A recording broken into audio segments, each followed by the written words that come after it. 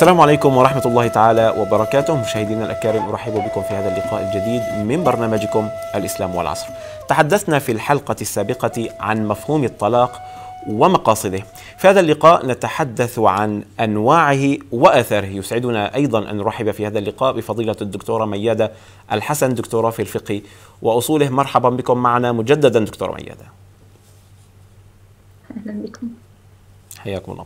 دكتورة ميادة لا يفرق الكثيرون كما أشرنا في الحلقة السابقة بين أنواع الطلاق. لذلك يعني قد تجدي أن بعض الرجال بعد أن يقع الفأس في الرأس يبحث الزوج أو ربما الزوجة بعد أن تطلب الزواج تبحث أو يبحثان عن فتوى وعن سبيل للرجعة. وقد يلجأ ربما الرجل لغير المختصين أو المتعالمين وضعاف النفوس. قبل اللجوء إلى الطلاق دكتورة، ألا يجب على الرجل المطلق وأيضا ربما على الزوجة معرفة أنواع الطلاق؟ بسم الله الرحمن الرحيم، الحمد لله والصلاة والسلام على رسول الله. يعني الفقهاء نصوا على أن المكلف إذا أقدم أو قدم على عمل ما فينبغي أن يتعلم من العلوم ما يساعده على القيام بهذا العمل. فقالوا إذا بلغ المكلف فينبغي عليه أن يتعلم أحكام الصلاة. قالوا إذا ملك مالا ينبغي أن يتعلم أحكام الزكاة. قالوا إذا استطاع الذهاب إلى الحج ينبغي أن يتعلم أحكام الحج. الآن الذي يحدث وهذا عجيب يخطب الرجل ويتزوج ولا يتعلم شيئا عن أحكام النكاح. الحقيقة الأمر المهم ها هنا أن نشكل وعيا فقهيا فيما يتعلق بمؤسسة الزواج. ليس ما يؤخذ من العرف إنه يعني على اللسان دائما وابدا أنت طالق وعلي الطلاق وكل ما فعلت شيئا أو أراد أن يهددها أو أراد أن يمنعها من شيء صحيح.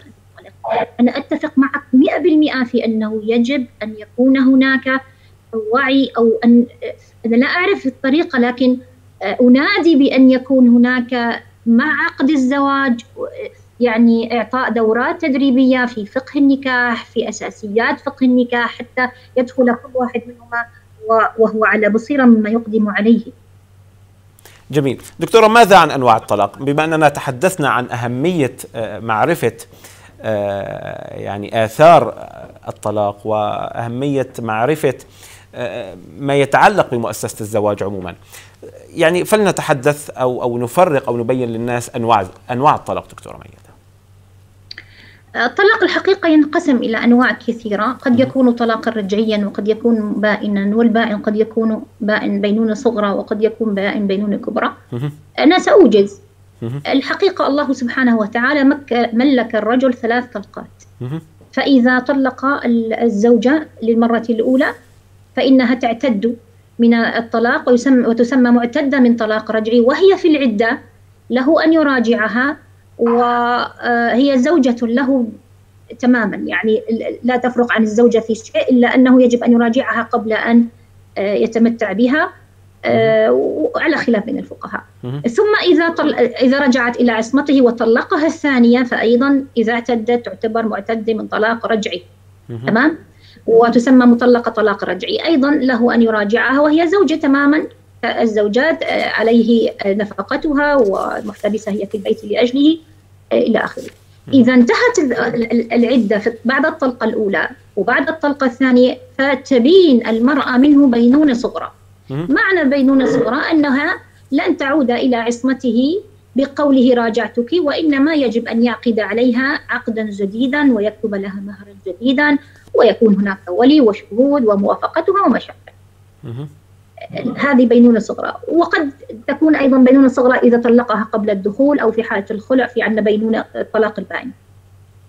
الآن إذا طلقها الثالثة إذا طلقها الثالثة وهي في العدة تبين منه بينونة كبرى بمعنى أنها لن تعود إلى عصمته حتى تنكح زوجا غيره حتى يعقد عليها زوج غيره ويدخل بها دخولا كاملا صحيحا. وتذوق عسيلته ويذوق عسيلتها. ثم إذا شاء أن يطلقها الثاني وطلقها يمكن للزوج الأول أن يعقد عليها ثانية.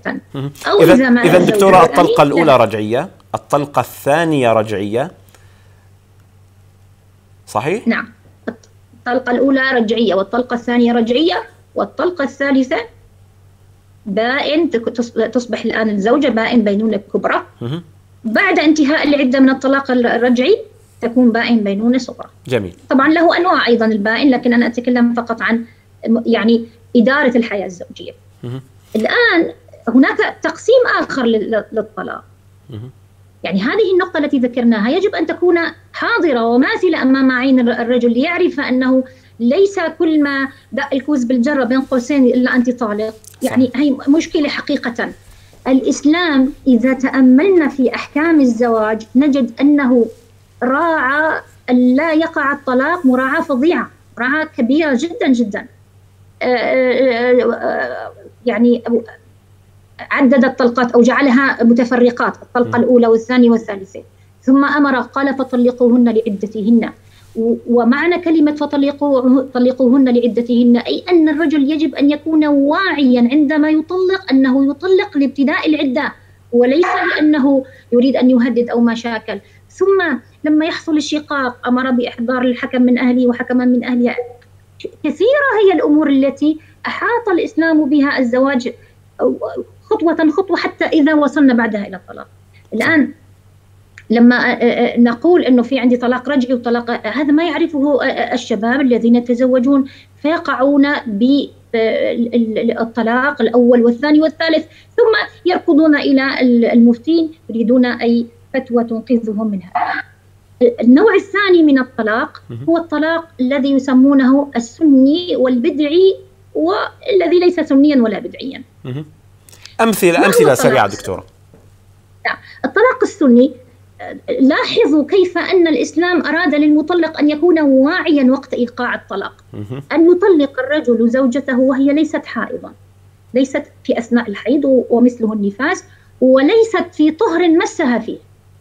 وليست في طهر مسها فيه. الغرض من ذلك آه دكتورة؟ الغرض أولا لما تكون في حالة الحيض يكون قد ابتعد عنها فترة ويعني أحواله النفسية غير مستقرة وهي أحوالها النفسية غير مستقرة. صحيح. فيحصل الطلاق بدون أن يكون متأكدا أنه يريد الطلاق. وإنما لأسباب تدور في نفسه لا يستطيع أن يصل إليها لا يستطيع أن يشبع رغبته ويعني يحصل هذا التوتر إن صح التعبير ولأنه عادة إذا كانت المرأة يعني متأهبة وصالحة لأن يقترب الرجل منها عادة الخلافات الكبيرة إذا اقترب الزوجان من بعضهما ذابت. وكأنها لم تكن. سبحان الله. فلما يقول النبي عليه الصلاة والسلام يعني لما طلق ابن عمر زوجته وهي حائض قال مره فليراجعها لأنه ليس وقت تأكد من أنه لا يريدها وإنما قد يكون لأنه ممنوع من الاقتراب منها وأن لو كان هناك اقتراب مشروع لربما ذهبت هذه المشاكل المشاكل كلها. وإذا كانت قد هي في طهر قد مسها فيه فلأن الرجل عادة إذا كان قد جمع زوجته ينصرف عنها. لا تظهر رغبته الحقيقية فيها. تظهر الرغبة متى؟ إذا كان عندي طهر كامل يعني تقريبا 21 يوم أو 15 يوم من 15 إلى 21 يوم لم يأتها آه، آه، فيه. إذا إذا تتأكد رغبته بأنه لا يريدها. جميل. اتضحت اتضحت الصورة دكتورة عذرا على المقاطعة الوقت يداهمنا. طلاق الحائض يشيع عند الكثير من الناس بأنه لا يقع.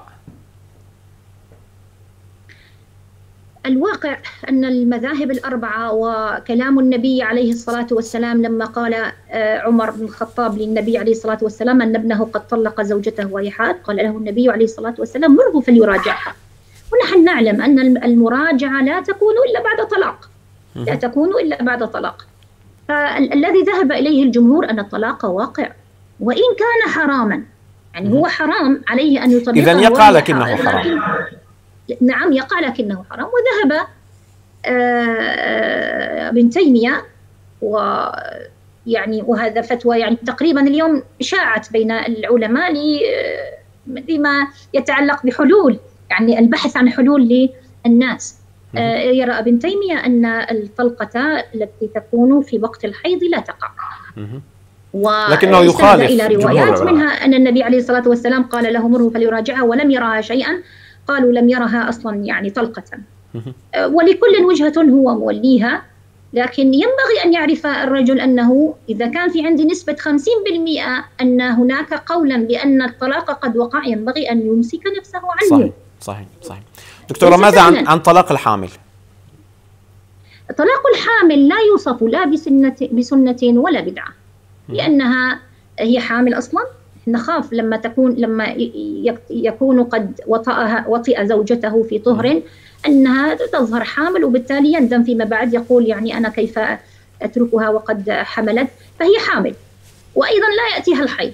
فاذا هي ليست من ذوات الحيض وليست غير معروفة الحمل بل هي معروفة الحمل فطلاقها لا يوصف بسنة ولا بدعة وهو جائز يعني أقصد ليس جائزا بمعنى مرغب نعم فيه نعم. وإنما على أصل حكمه صح. الذي ذكرته قد يكون واجبا وقد يكون حراما وقد يكون مكروها على الأصل عند الجمهور وهكذا نعم. دكتورة بالنسبة لطلاق الثلاث في مجلس واحد وهذه وهذه الفتوى ربما يعني ما يسير عليها الكثيرون هي الأكثر شيوعا الآن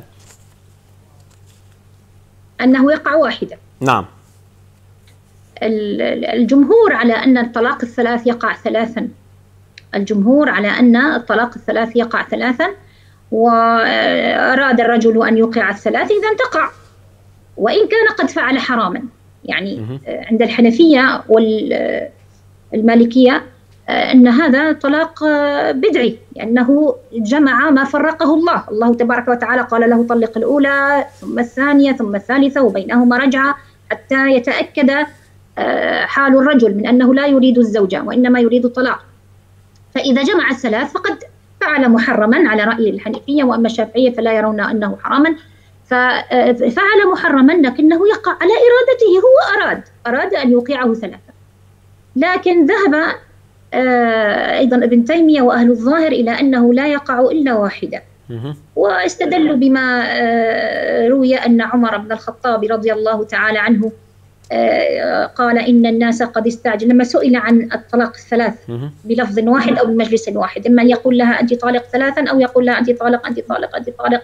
طبعا ثم قال أنا لا أنوي يعني نعم. أنها طالق ثلاثا.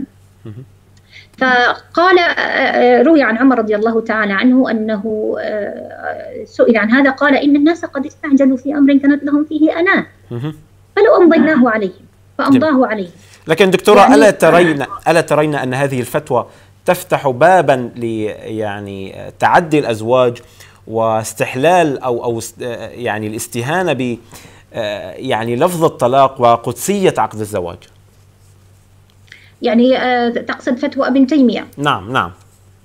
وهي التي عليها الآن معظم المفتون لأنهم يرون أن هذا عليها معظم المفتين لأنهم يرون أن هذا ينقذ الأسرة. أنا أقول شيئا. أقول لو أننا نستطيع أن نوجد نظاما يغرم الرجل الذي ينطق بالطلاق على غير وجهه الحقيقي أو نجعله أمام جهة معينة هذا أفضل من أن نتركه على هواه. جميل. يوقع الطلاق الأول والثاني والثالث والمرأة تعرف أنه ليس إلا واقعا فيأتي فيدعي أنه غضبان ويدعي أنه ما أراد الثلاث ويدعي كذا ويبحث المفتي له عن عن فتوى شاذة ليرده إلى زوجته. جميل. الذي أراه أننا لو وضعنا قانونا يجرم من ينطق بكلمة الطلاق قبل أن يعي آثارها وأمارة ذلك أن يكون أمام قاضي أو أمام طالب علم أو كذا حتى نتأكد أن ماذا يريد. جميل. هذا أنا أرى أنه أفضل. نعم جميل جميل. اتضحت الصورة دكتورة. اسمحي لنا بفاصل ثم نواصل حديثنا معكم. أعزائي المشاهدين فاصل فابقوا معنا وانتظرون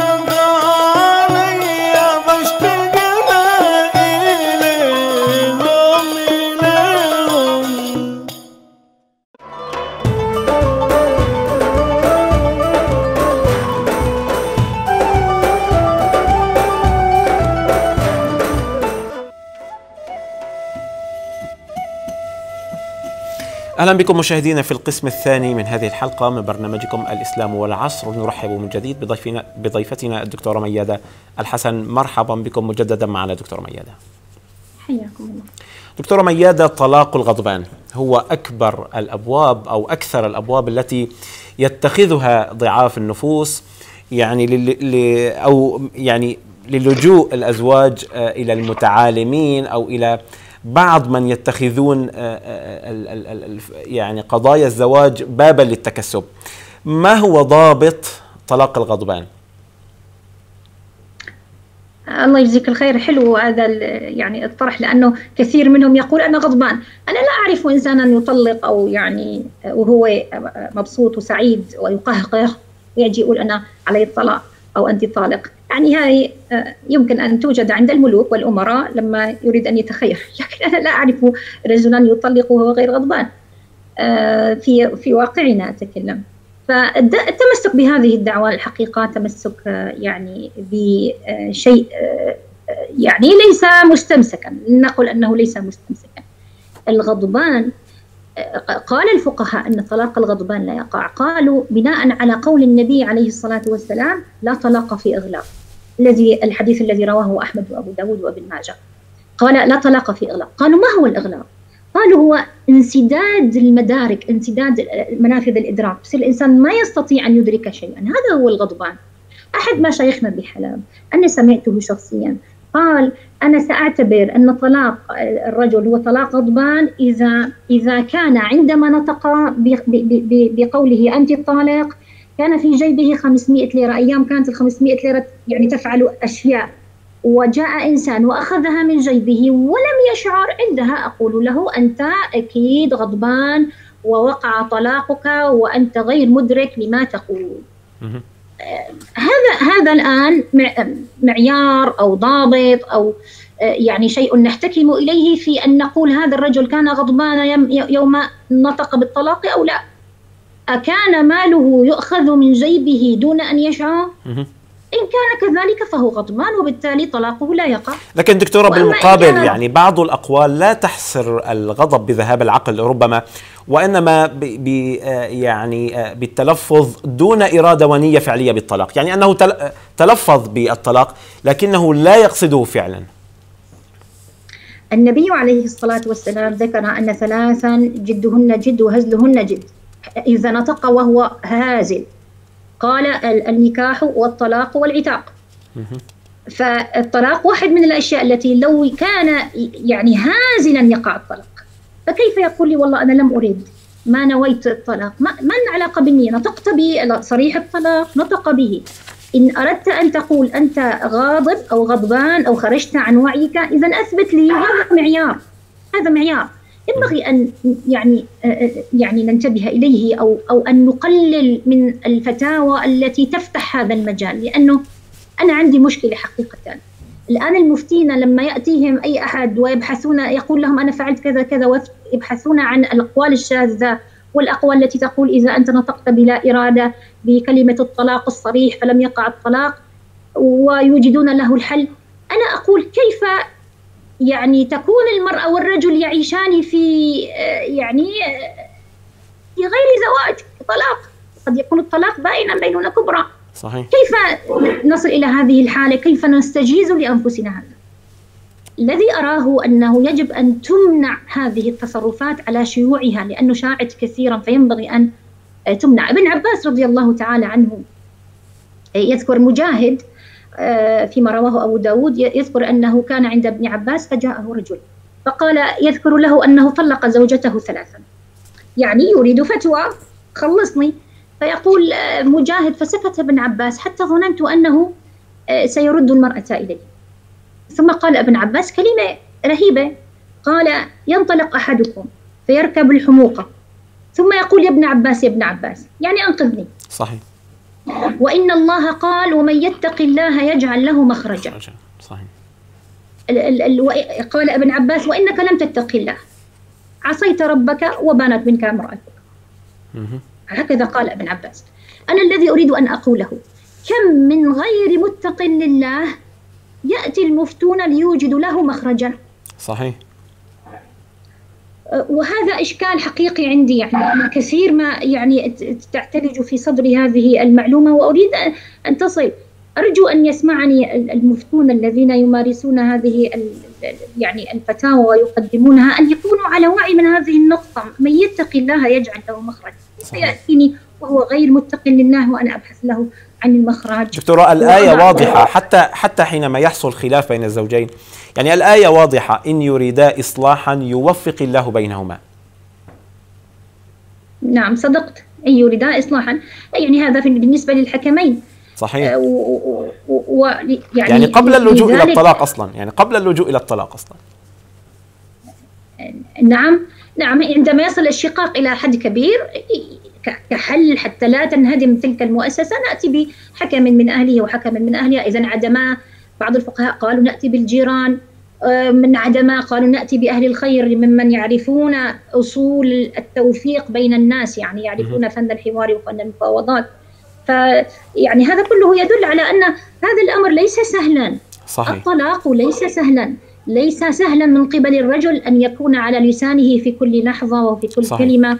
وليس سهلا على المرأة أنه كل ما دق الكوز بالجرد له طلقني أنا هذا ما عاجبني وعاجبني. لا المرأة صحيح. يعني ينبغي أن تطلب هذا ولا الرجل ينبغي أن يهجم على هذا.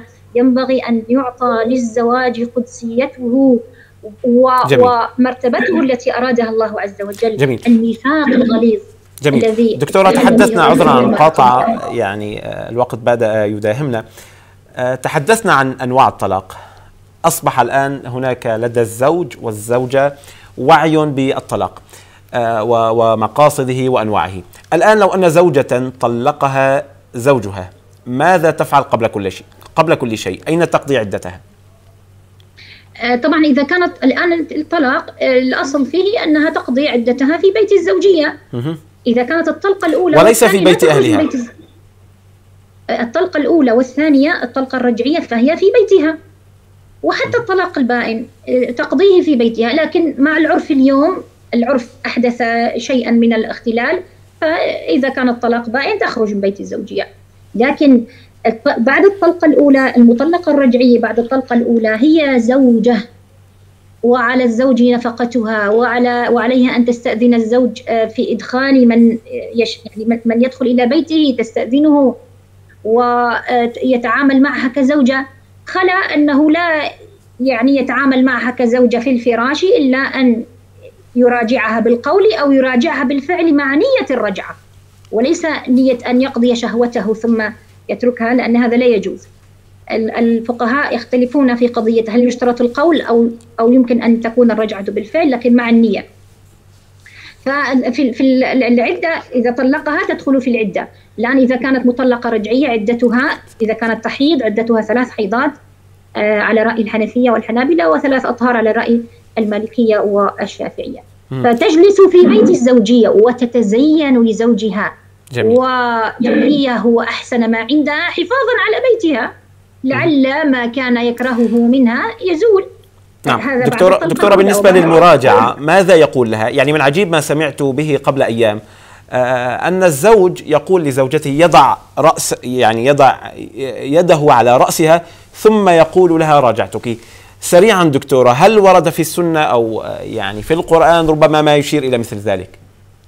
لا لا يضع رأسه يده على رأسها ولا شيء يقول لها راجعتك. جميل. راجعتك على مذهب الشافعي قولا وعلى آه، مذهب غيره يعني يفعل معها يعني ما يفعله الأزواج كمقدمات للوطء كالتقبيل والمس آه، مثلا كذا.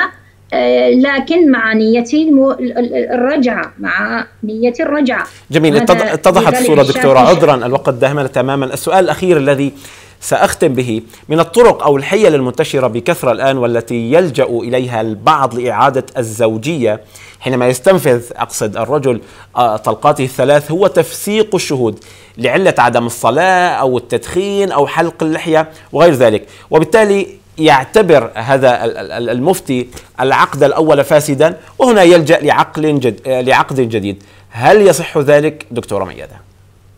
هذا مفتي يخرج الناس الذين لا يتقون الله ويبدو أنه أيضا عنده مشكلة. لأنه عندما يحكم بفساد العقد الذي يقوله لهذا الرجل لأن الشهود كانوا كذا وكذا هو يحكم بفساد مئات العقود وآلاف العقود المنتشرة بين الناس. هذا الكلام أنا أجد أنه خطير وأنه ما ينبغي اللجوء إليه ما ينبغي اللجوء إليه. والأمة مدعوة إلى أن تفكر بقوة عبر المجامع الفقهية وعبر المؤسسات الشرعية إلى أن تضع ضوابط وغرامات غرامات. الحقيقة دكتورة هذا منتشر الآن بكثرة. يعني مجرد قناعة أو يقين الزوج بصحة العقد ابتداء أو العقد الأول هل يصح له فيما بعد أن يعتقد بأن العقد كان فاسدا؟ ما أعتقد أنه يعني قناعته هي التي لها الأثر لكن نحن عندنا الشهود ظاهرا ما لنا علاقة بالباطن من متى ونحن نقول العدالة للشهود ظاهرا؟ مجرد الإسلام. على مذهب مالك أظن مجرد الإسلام. فكيف أعود من سعى في نقض ما تم من جهته فسعيه مردود عليه؟ جميل. العقود. كلها تعقد هكذا. ثم تأتي لكي آه، تصحح, تصحح أو ترجع الزوجة إلى زوجته تقول أن عقده الأول كان باطل هذا كلام يعني باطل. هو يرجع بعد أن يستنفذ آه، يعني الطلقات الثلاث للأسف. نعم. هذه هذا مخرج لمن لم يتق الله حقيقة. صح. هذا مخرج لمن لم يتق الله ومخرج لا يتقى فيه. جميل جميل دكتورة عذرا عذرا على المقاطعة. انتهى وقت حلقتنا تماما. أشكركم جزيل الشكر على حضوركم معنا في هذا اللقاء دكتورة ميادة. جزاكم الله خيرا. أنتم أيضا أعزائي المشاهدين نشكركم على حسن متابعتكم وإصغائكم. نذكركم أننا نستقبل أسئلتكم واستفساراتكم من خلال المنصات الظاهرة على الشاشة أمامكم. أستودعكم الله. السلام عليكم ورحمة الله تعالى وبركاته.